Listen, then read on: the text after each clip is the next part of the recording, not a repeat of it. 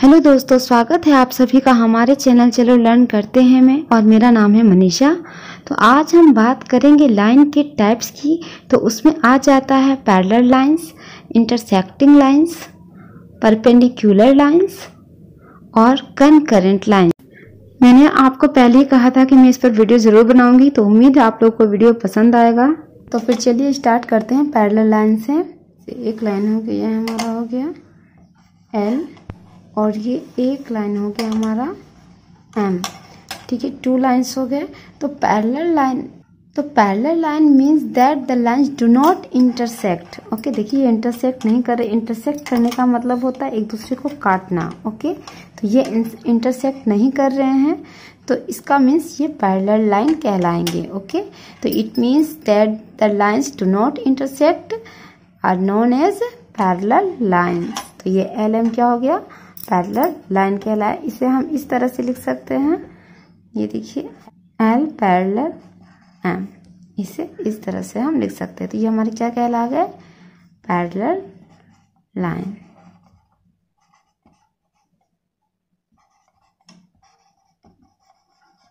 Okay तो ये हमारे पैरेलल लाइंस कहलाए। अब इंटरसेक्टिंग लाइन की बात करते हैं। जैसे ये हमने ले लिया एल और ये है एम। और ये ये जो पॉइंट है वो है ओ ओके तो हम कह सकते हैं कि टू लाइन जो है वो एल और एम इंटरसेक्ट कर रहे हैं किस पर? पॉइंट ओ पर ओके तो ओ हमारा क्या हो जाएगा?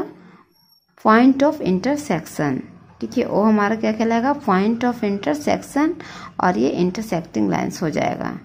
ओके okay, तो हम कह सकते हैं कि if the two lines intersect at the point O and this point O is called the point of intersection of the given lines L and M. okay? O हमारा हो जाएगा क्या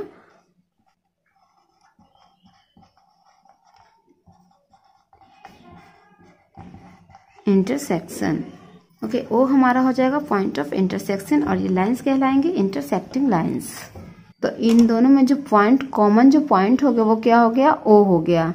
इस लाइन में भी देखिए ओ पॉइंट है okay और इस लाइन में भी देखिए एल लाइन में भी देखिए ओ पॉइंट है। तो ओ पॉइंट दोनों में कॉमन है। जबकि पैरेलल लाइन में कोई पॉइंट कॉमन नहीं होता है। और ना ही एक दूसरे को इंटरसेक्ट करते हैं। जब दो लाइन एक दूसरे को इस तरह इंटरसेक्ट करे, ये देखिए, इस तरह से इंटरसेक्ट करे, चलिए एल मान लिया और ये एम मान लिया। वो दो लाइन जब एक दूसरे को इस तरह इंटरसेक्ट करे कि राइट एंगल बने, यानी 90 डिग्री का एंगल बने, ठीक है?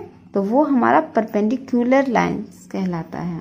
ये अब बात करते हैं कनकरेंट लाइंस की। कनकरेंट लाइंस क्या होते हैं?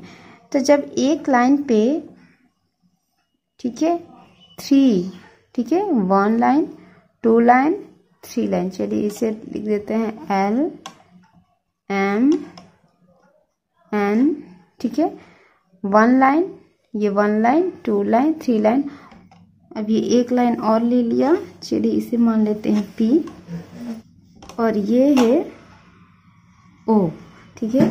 तो जब थ्री से ज़्यादा जब लाइन एक दूसरे को काटते हैं इंटरसेक्ट करते हैं, ठीक है? ओ पर ओ पर या किसी भी पॉइंट पर, एक ही पॉइंट पर तो उससे हम कहते हैं कनकरेंट लाइंस ठीक है? तो जब थ्री लाइंस या फिर थ्री से ज़्यादा लाइंस जब एक दूसरे को इंटरसेक्ट करते हैं एक ही पॉइंट पर तो उसे हम कहते हैं concurrent lines if all the lines pass through the same point O या कोई भी नाम हो सकता है पॉइंट का पी क्यू कुछ भी आप रख सकते हैं।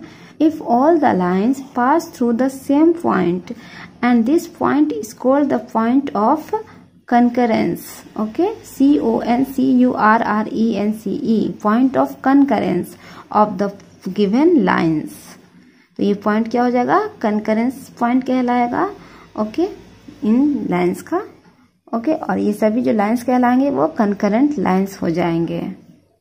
अब अगर एक और लाइन हमारा आ जाए इसमें ओके और ये है क्यू तो क्या क्यू तो क्या क्यू concurrent lines होगा? No Q is not concurrent with them. Okay?